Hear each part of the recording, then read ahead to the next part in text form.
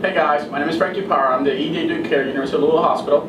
I'm Ashley. I'm one of the trauma resource nurses here at the hospital. And I'm Dr. Ludwig with the Trauma ICU team. We're here today to talk about DPL or diagnostic peritoneal lavage.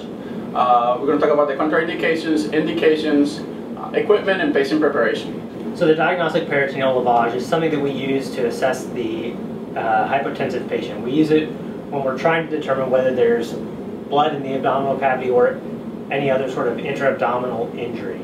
Commonly we use the FAST scan, we use the ultrasound, but when you have a patient who is uh, morbidly obese or you have difficulty getting windows for any number of reasons, this is a fallback option that, that we can use to assess the abdominal cavity in a rapid manner when we are, the patient is too unstable to move to the CT scanner.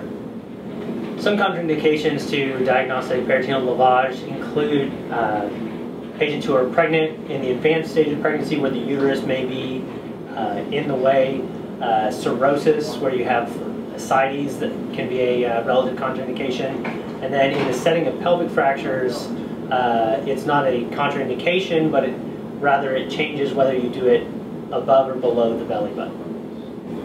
For training purposes, today we have a 27-year-old female that was involved in an MVC. She was the driver and unrestrained ejected from her car.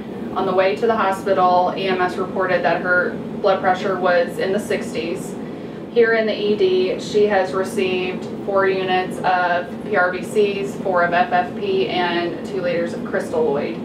She remains hypotensive. Her uh, initial fast was negative and the doctor is requesting to do a DPL. Now to where the equipment is.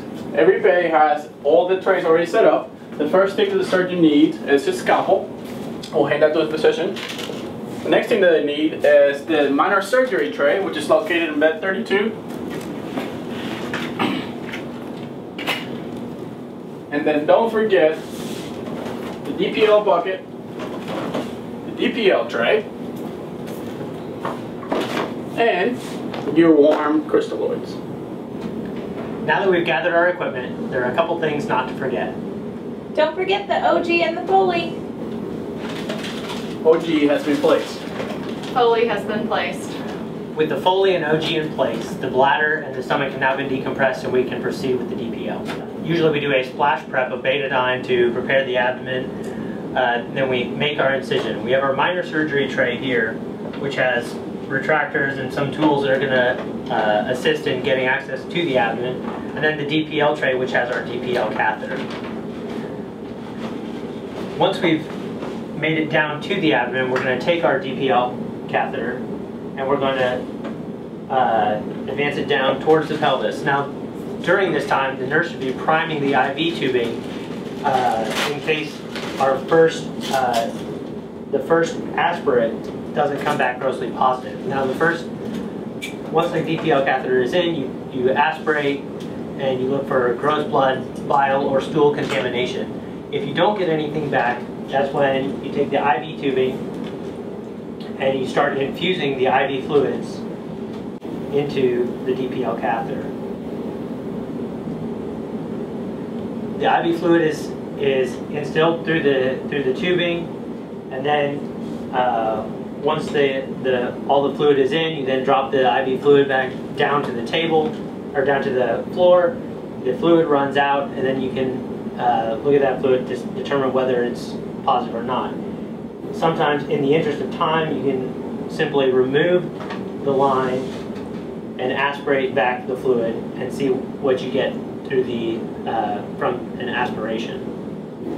Unique to our institution, our IV tubing has a one-way valve that needs to cut above the filter to allow for the fluid to drain back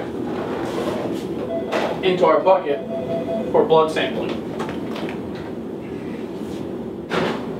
At this point, uh, if the DPL is positive, then the decision has been made and you will likely proceed to the operating room. If it's negative, further evaluation may be necessary. Some final things to remember, uh, when you're going to do a DPL, decompressing the stomach and the bladder before getting started.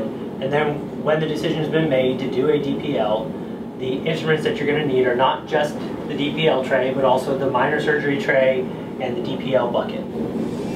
Thanks for watching this episode of Quick Tips. As always, if you have any questions, please, we're here to help.